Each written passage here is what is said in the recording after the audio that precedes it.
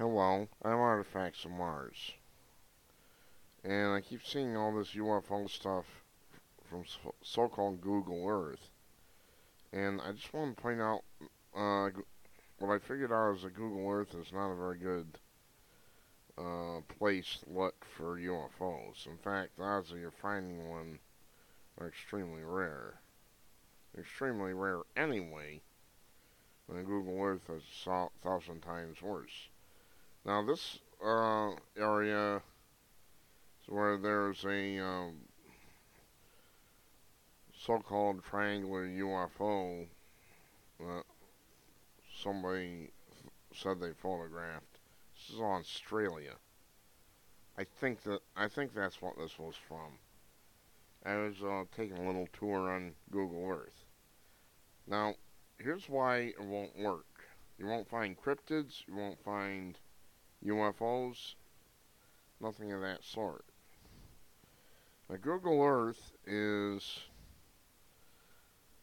I'm not saying they're doing anything to hide stuff other than some something that's been in the news about certain areas that don't want to be photographed, but that's not the point. The point is, you have to understand this is virtual reality technology to a large extent. It's similar, I would say, to what they have on uh, Second Life in some respects. So what they do is they map out surface of the Earth. That's going to be a, quite an enormous undertaking. They map it out. Computers uh, create 3D images from the satellite images that they get. And then you can view the Earth fairly well in 3D. You can walk through it, whatnot. The problem is that this type of technology won't catch anything that's moving. N not as much. It's not going to catch much in the way of animals, plants. Well, plants it will, but animals. Uh, if you're looking for cryptids, planes, very few of those. You will get uh, cars on the highway to an extent, not as many as um, you might expect, but the reason is that they're moving. It is technology is designed to map out the surface of the Earth and buildings and waterfalls and that type of thing. It's not meant to ca capture these moving images. There's a lot of fraud, a lot of hoaxes uh, claiming that, like, you know, somebody caught a UFO on Google Earth. Now, what are we looking at here? What are these strange things? Well, well obviously they're windmills. of Australia. So I'm going to take you and show you a typical, since I'm in the Rochester area, I'll show you the Rochester neighborhood. Hang on. And I just love this technology. This is downtown Rochester, and you know they're safely without getting rolled.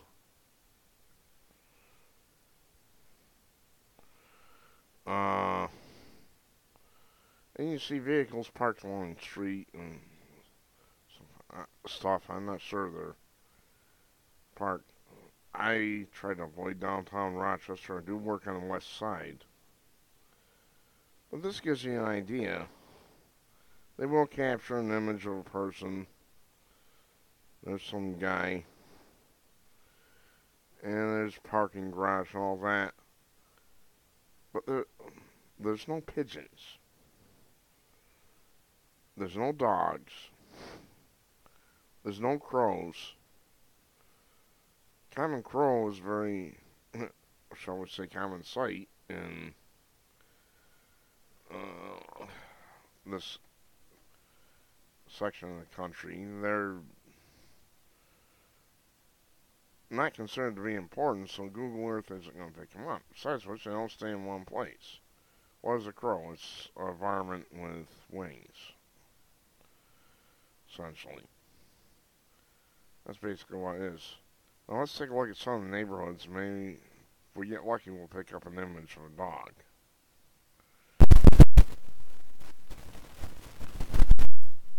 Now isn't this scenic? Uh, this is some Rochester neighborhood. Look at the busted out windows in that house. They get a lot of that. They get, uh, they call them zombie houses where no one lives and they've been foreclosed on. Frankly, I'm surprised to uh, see the sky gray. Usually in these Google Earth images, it's uh, slate blue, uh, sky blue. But you're getting a picture here. There's a few people, there's no critters. I'm sure if you work that, you eventually find a flock of crows. Actually, I should say murder crows. A gaggle of geese. Hang on. Computer issues. More of a physical issue with the uh, microphone than anything. You're getting picture here though. You're not going to see much in the way of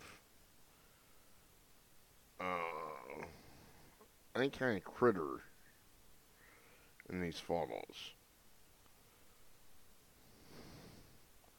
This is life in the hood. You might see some cars, well that's about it. Now, it's just because, it's not they're trying to hide anything, it's simply because the technology is mostly going to pick up structures and trees and things that are fixed in the location for enough time for the cameras to pick up and change them into images. The murder of crows isn't in a fixed location. They're flying around, cawing at us, cussing us out, whatever. So that's that's the basic reason. You're not going to see much in the way of UFOs. If you can find a genuine UFO using Google Earth, you're my hero.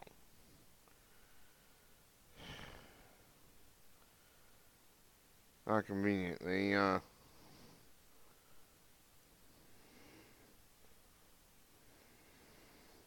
they even blur out license plates.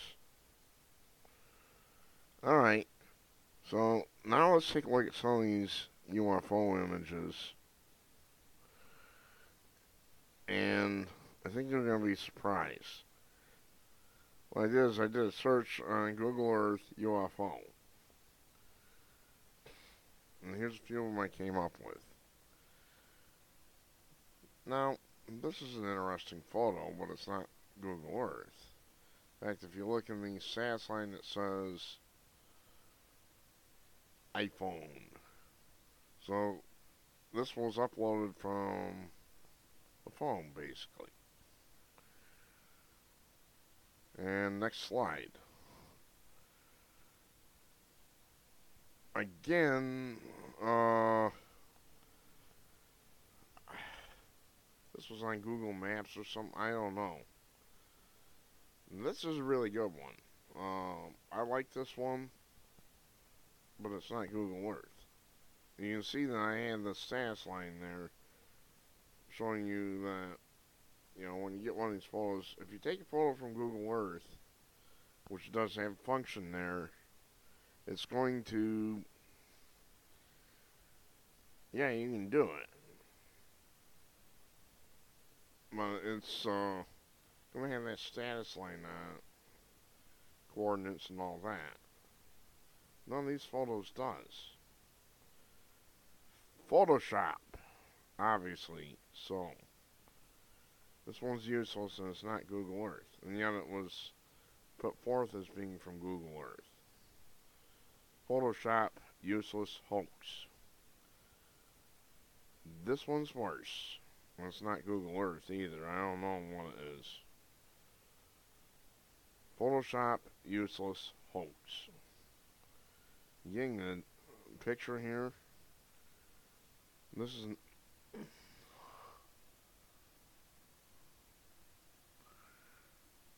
This might actually be Google Earth.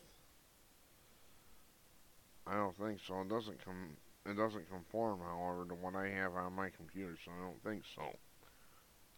But again, it's the same photoshopped, useless red UFO that has been hoaxed. So that is a hoax. I'm not even getting into this one. Hoax. This one has watermark 2014 Google. Copyright 2014 Google. It's Google, Google photo. Same red UFO hoax.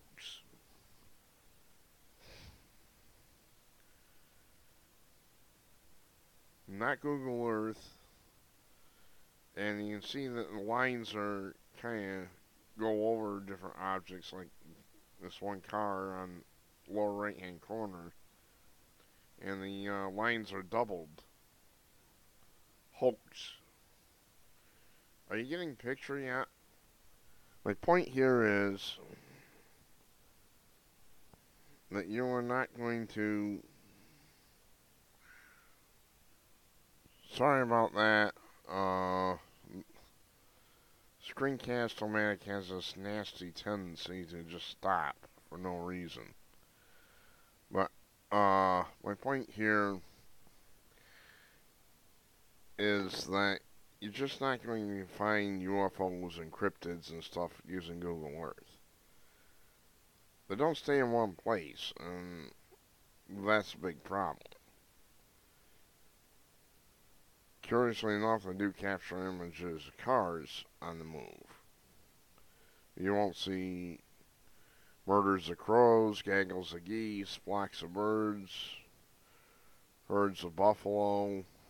I said buffalo. I live in Bills country. Sorry, folks. I call them buffalo. We call them buffaloes here. I live in Bills country. You're just not going to find it, so don't waste your time. Better off getting out in the field to a UFO hotspot and dealing with it out there. That's my opinion. You know, prove me wrong. You want to make a video and show me where you're uh, spotting huge, you know, flocks of geese or something, a gaggle of geese or murder of crows or flock of starlings herd of buffaloes, then go right ahead.